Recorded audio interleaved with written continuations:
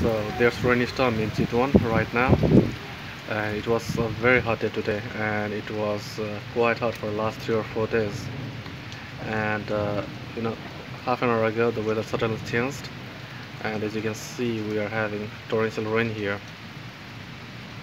The temperature a little while ago was 43 degrees Celsius. That's quite quite high temperature.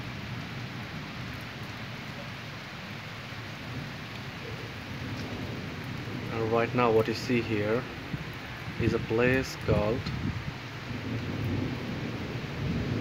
Rampur campus in Chitwan.